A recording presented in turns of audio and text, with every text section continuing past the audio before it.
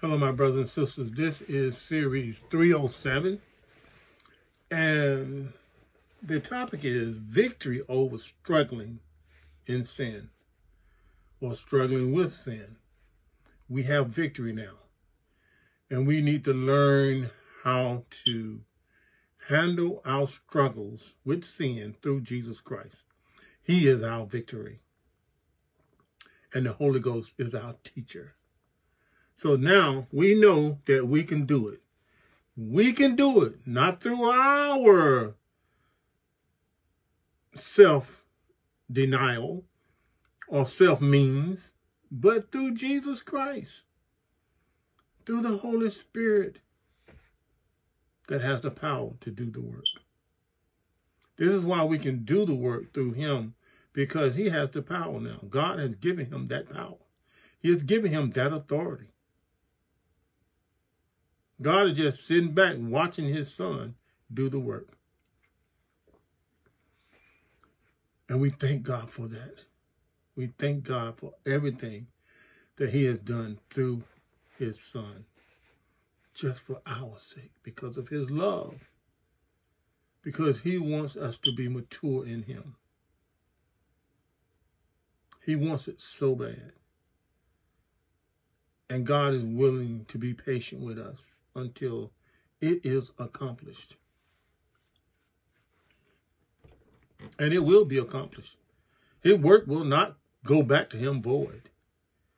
It will be accomplished. So,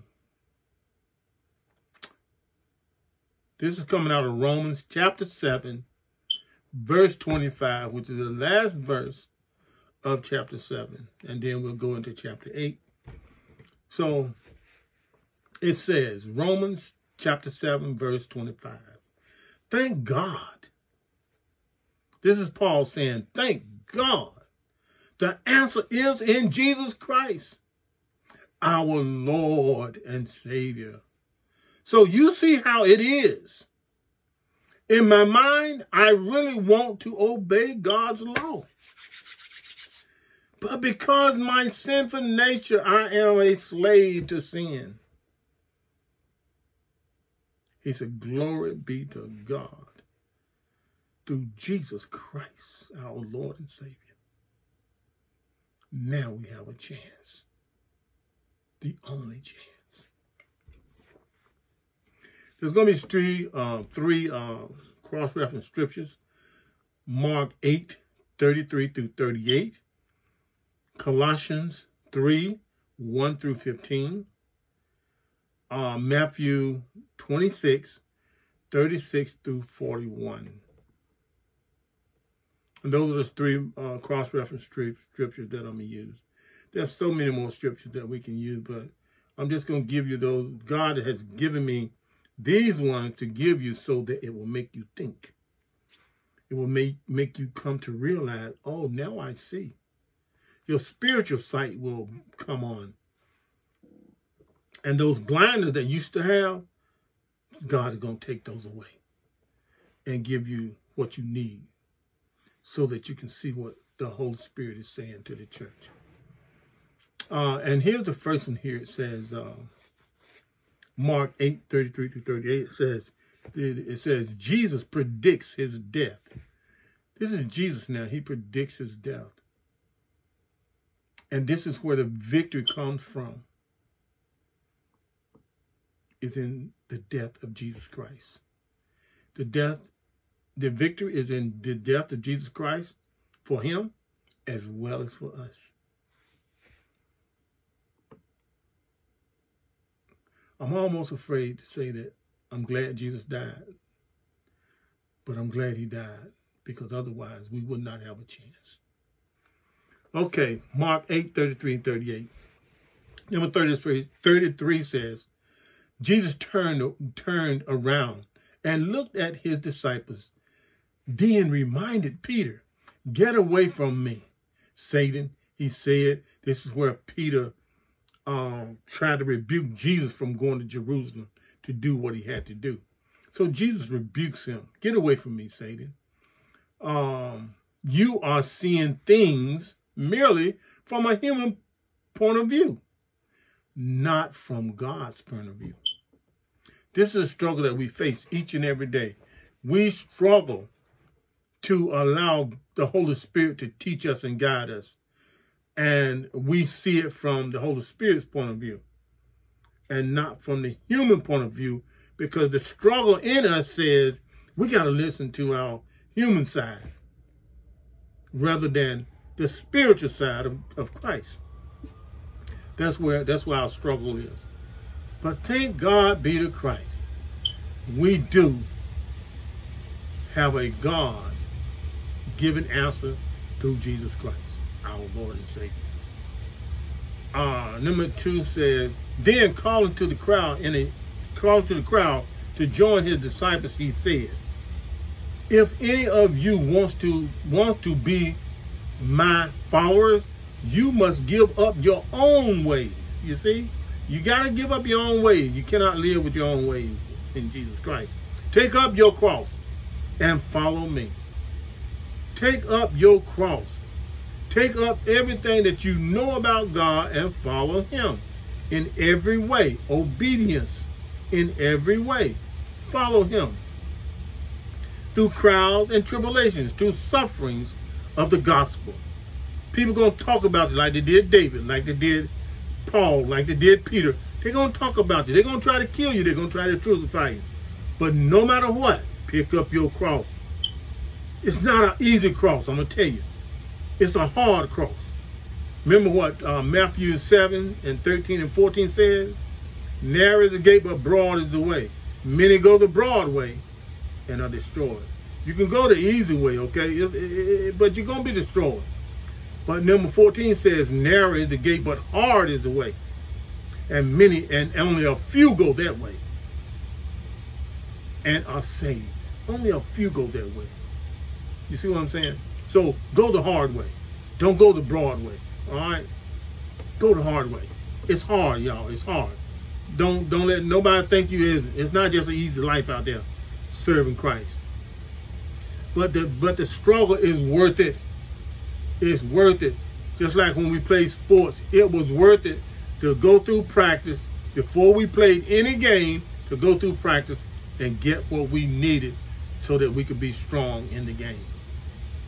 And this is why you got to get what you need in Jesus Christ, which is the Word of God, the Word of Spirit and truth, through the Holy Spirit. And that way, when the wartime comes, you can fight you can fight Satan with the word of God. Number 35, if you try to bring on uh, to your life, if you if you try to hang on to your life, you will lose it. But if you give up your life for my sake, mm, mm, mm, and for the sake of the good news, you will save it. This is what the 70 disciples didn't realize. They, they wanted Jesus, but they didn't want his hardship. They didn't want to go through what Jesus went through just to be Jesus. They didn't want to do that. But those 12, they remained right there. And Jesus said to the 12, after the 70 left, he said, are you going to leave me now? Are you going to leave me too? And they said, oh no, we're sticking with you, Jesus. This is what we got to do. We got, I don't care how many people is on the team. We have to stick with Jesus, no matter what. Because he's our coach. And he's the only true coach that can coach us to eternal life. Number, uh, what was that? Number 36 says, and what do you be, what do you benefit if you gain the whole world but lose your own soul? What do you gain? Nothing you go straight to hell. This is what Jesus is trying to say. This is why he tried to tell the rich man. When the rich man said, what must I do to inherit the kingdom, kingdom of God? He, Jesus told him, go sell all you have, come back and follow me, and, and give the rest to the poor. He said, come back and follow me. But no, that was not it. He didn't want to hear that. I ain't all that my father worked for. No, I can't do that. So he left. He left. And so Jesus is telling us now, we must give up our life. Just like he gave up his life for us, we got to do the same thing for the gospel's sake. Uh, number 37 says, I, no, Is anything worth more than your soul? Is anything, especially when God is when when Christ is leading your soul? No, ain't nothing worth it. 38 says, if anyone is ashamed of me and my message in this in this uh, in this adulterous and sinful day, if anyone is ashamed of me in this adulterous and sinful day, the Son of Man will be ashamed of the person when he returns in the glory of the Father, ooh, which he, which is with his holy angels. When he returns, oh, you gonna be ashamed of me? Oh no, no, no, no, no, no, you got to be willing to die for me. This is what Jesus is saying in this message. If you're not willing to die for the Father, then you ain't doing nothing. You ain't doing nothing. When hard times hit and people really started going at you, going against you like they did Paul and Peter and them, rest of the disciples, are you still going to stand? Huh? You won't know Christ unless your faith is really tested. Like Job, his faith was tested by God. David, his, his faith was tested by God. Solomon's faith was tested by God. Abraham's faith was tested by God.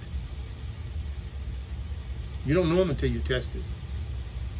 We didn't, when, we, when I played basketball, we didn't know that team until we tested. We didn't know the power and strength of our um, group, our team. We didn't know it until we was tested by the by the the opponent opposing team. And after we played them, we won. Now we knew who we were in that in in in in, in, our high school or college team. Now we know. Well, now we understood who we were. We were the Warriors. We were the Blue Devils. And everybody knew it. They had man, they had a war when they came against us. Same thing here. We got to know who we are in Jesus Christ. Uh, now we'll go to the next one. This is in Colossians 3, 1 through, 1 through 15. And it says, living the new life. Then we got a brand new life to live. Thank God. Glory be to God. Um, Colossians 3, 1 through 15. Number one says, since you have been raised to the new life of, with Christ, use your sights, no, I'm sorry, set your sights on the realize, realities of heaven, where Christ sits in the place of honor at God's right hand. He said, this is what you have to do. Okay, you're going through your struggle. You understand it more now. Paul understands it more now. Um, he said, he said, thank God. The answer is in Jesus Christ, our Lord and Savior. Thank God. So you see how it is. In my mind, I really want to obey God's law. But because of my sinful nature, I am a slave to it. Sin. I'm a slave to it. But glory be to God. Now, God has given us the answer now. We can be happy. We can be joyful. Where Christ is sitting in the place of honor at the right hand of God. Number two says, think about these things in the, of heaven, not the things of the earth. He gave us a clue. Don't think about these things on earth anymore. Think about the things of heaven. All that he has taught you, what he has taught you about the promises that he has given us from his Father in heaven. Put our sights on heavenly things, not on earth. It was never intended for us to really put our sights on earthly things. It was always intended for us to put our, our sights on heavenly things. Number three says, for you died to your, to your life, to this life. And your real life is hidden with Christ in, G, in God. Now you got your real life, your new life. It's hidden. It's hidden with Christ in God. And the only way you can get there through the Holy Ghost. It teaches you all things. You got to trust and believe in the Holy Ghost. Number four says, and when Christ, who is your life, who is your life, is revealed to the world, is revealed to the whole world. You will share in all his glory. Number five says, so put death, put to death the sinful earth the things lurking within you. He he said, put the death there. Now you got the power to do it. Put those things to death. Don't think about them. No, don't even want to do them no more. Give all your desires to God now. All those sinful desires, give them to Him. Give them to Christ. And He will give you new desires. So you won't want to do those desires no more. Because that's what He did for me. There's still some things in me He still needs to take out. And He's slowly doing them too. Because I believe, I got faith in it. I trust Him to do it. I gave it to Him because I couldn't do it no more. I couldn't do it. I just can't do it. Only one can do it is Christ Jesus. So all my trust and faith is in him now. And um, having nothing to do with sinful immortality, impurity, lust, and evil desires. Don't don't greedy. No, no, no, no. Don't be greedy. For a greedy person is an idolater. Worship the things of this world. We worship the things of this world. Don't do that. Just give them to God. Number six says, because of these sins, the anger of God is coming. He said, the anger of God is coming now if you keep on doing these things. Remember, Paul said, shall we keep on sinning? God, uh, God forbid. The only thing you're going to do is make God angry. You know? So don't do them. Number seven says, you used to do these things when your life was still part of the world. We are new creatures now. Guess what we do? Number eight says, but now is the time is the time to get rid of anger, get rid of rage, get rid of malice, get rid of behaviors. I mean, I'm sorry, get rid of malice behaviors, slander, or dirty language. Get rid of all that. You don't need them no more. Don't lie to each other. For you have stripped off your old sinful nature and all its wickedness deeds. All of its wicked deeds. We have stripped them off. And then it says, number 10 says, put on your new nature and be renewed as you learn to as you learn as you learn to know your creator and become like him. Number 11 says, in this new life, it doesn't matter if you are a Jew or Greek. I mean, a Jew or a Gentile. Circumcised or uncircumcised, barbarian or uncivilized, slave or free. It does not matter. Christ is all that matters. Christ is all that matters, and his and he lives in all of us.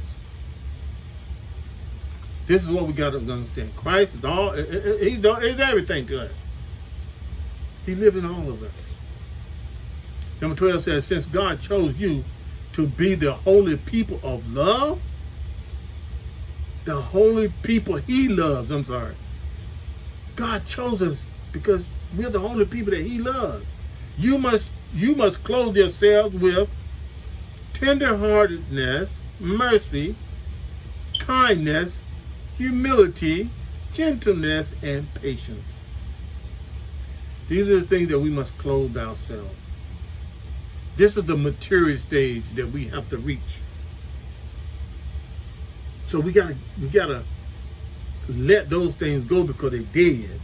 But take on Christ so he can deliver these things to us and make us new. Number 13 says, make allowance for each other's faults don't be hard on one another. Make allowance. I love you. So I, I, it don't matter. I don't see no fault because the only thing I, that's how God does. God sees us out of his eyes of love. He don't see no faults in us. Only thing he sees is love for his children. Uh, what was I? Uh, make allowance for our faults. And forgive anyone who defend who, who defends you. Remember, the Lord forgave you, so you must forgive others. That's hard to do. It's a struggle, ain't it? I know it is. Because I used to be the same way. But no, I'd rather forgive now. Because the thing is with me, I don't want to be separated from God. I don't want to be out of his presence, not for one moment. I'm fearful of that. I want to be in his presence all the time. About uh, uh, number 14 says, above all, clothe yourselves with love. Number one thing, clothe yourself. Above all, clothe yourselves with love, which which binds us all together in perfect harmony. I preached a sermon one time about the Holy Spirit, and the Holy Spirit is our glue. It's our super glue to keep us together, and it's showing that it is love that bonds us together and keep us all as one. That's why the Father, Son, and the Holy Ghost are one because they're bonded together with love. Number 15 says, and let the peace of let the peace that comes from Christ rule in your hearts. If you got peace, you can let you can let Christ rule. Because he gave you the first peace you had. He gave you the second, the tenth, the twelfth, the fourteenth. So why not keep trusting him? That's all he's gonna give you peace. For as members of one body, you are called to live in peace and always be thankful, he says.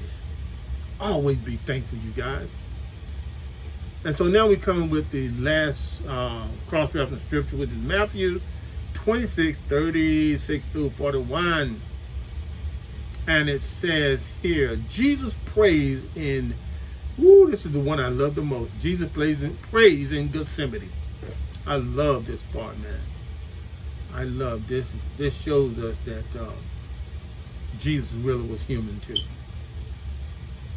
And even though he lives in our bodies, we're still human. We're going to do some things that we don't supposed to do. But God is such a loving and forgiving God. This is what you got to remember. Number 36, Matthew 26, 36 and 41. 26 says, Then Jesus went with them to the olive grove called Gethsemane. And he said, sit here while I go over there to pray. And he went in with um, Peter. Uh, I started to say Paul, but it wasn't Paul. Peter, John, and James. Those are the main three he went and prayed with. Um, number 36 said, 37 says, he took Peter and the Zebedee's two sons, James and John. And he became anguish and distressed. He was in a struggle, you guys. Just like we be in our struggle, just like David was in his struggle, we be in that struggle as well. Number 38 said, He told them, My soul is crushed with grief to the point of death. Stay here and keep watch with me. He said, I'm crushed, you guys. My soul, my whole inner being, my whole life is crushed. It's all messed up right now. Because he's human. And he lets you know you're human. You're going through these struggles It's okay. But it's to make you and make, make you to grow you into a mature person of Christ and 39 says, He went on a little further and, and bowed with his face to the ground, praying, My Father, if it, if it is possible, let this cup suffering, let this cup of suffering be taken away from me. Yet what your will to be done, not my will. Not my not my will, Lord, but your will be done. That's what he's trying to tell us. It's not about us. It's about Jesus Christ. It's about the Father, His will being, being carried out. God already done planned all this. We just got to carry it out. It's our will within Jesus Christ to do this, not our own will anymore. Number four says, number 40 says, Then he returned to the disciples and found them asleep. He said to Peter, couldn't you watch with me even one hour? And then number it's a struggle to stay asleep. I've been there. I remember when they used to teach me in church here in, in, in Atwater, California. my pastor taught us we had to go to church at 12 o'clock at night and we would we would pray all until 6 o'clock that morning. And there was some of us that went to sleep. Me, I went to sleep too now. I ain't gonna lie. To pray from 12 to 6, oh my goodness. That really, really taught me what this scripture really, really means.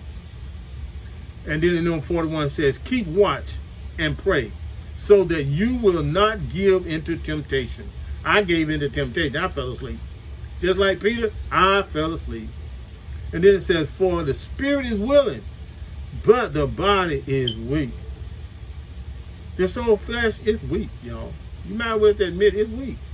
Your spirit is strong to do what's right, but your body says, oh no, we're going to do what's wrong, Jack. Uh, so that is the that is it. And now we're going to go into the conclusion of the scriptures. And um, it says uh, here, I thank God through Jesus Christ our Lord. And then it says, Deliver, deliverance will come through our Lord Jesus Christ. And the moment we accept, no, no, the moment we exit from, the moment we exit these present, uh, present bodies through which our sinful nature operates in effectively, in in so if so effectively, this struggle will go on until then. And Paul summarizes it for us in Romans chapter 20, I mean verse 25. Romans chapter 7, verse 25. He summarized it.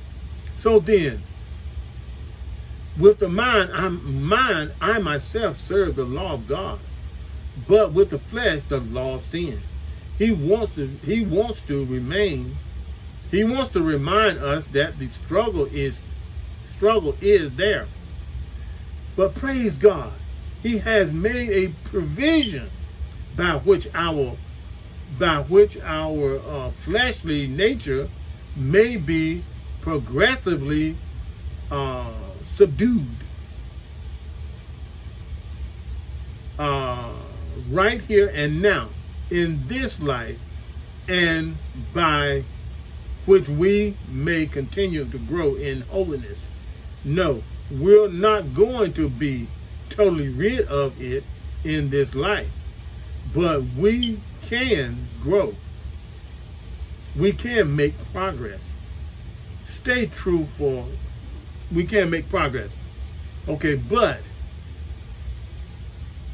what I want you to see here in the in in in that Paul has come to the end of himself and that's what we need to do. O wretched man that I am, who shall deliver me from this body of death? Paul's body through which his sinful nature operates, which leads to death, and Paul realized that he is, he, no, that that in his own strength he is helpless and hopeless, and that is uh, absolutely essential in order to grow in Christ.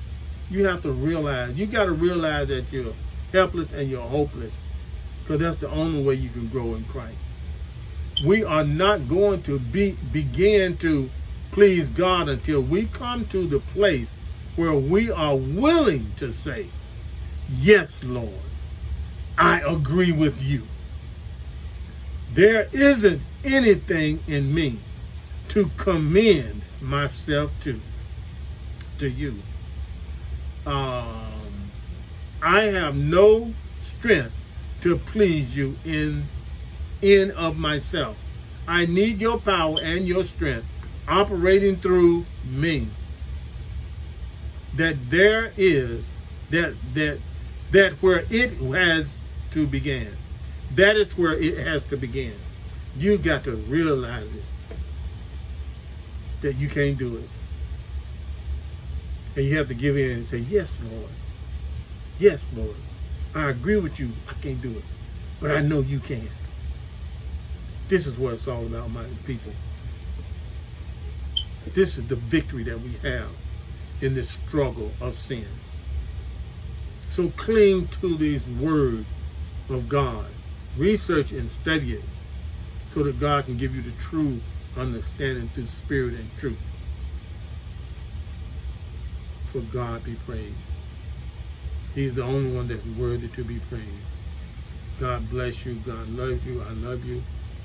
Thank you until we go into chapter 8 and get the total victory of chapter 6 and chapter 7.